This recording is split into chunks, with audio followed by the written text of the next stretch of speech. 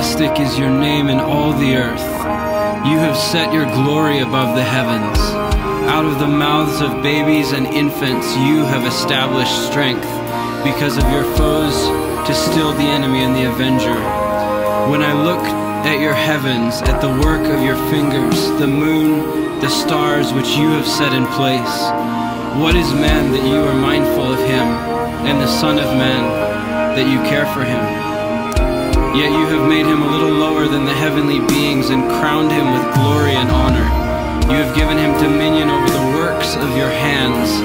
You have put all things under his feet. O Lord, our Lord, how majestic is your name in all the earth.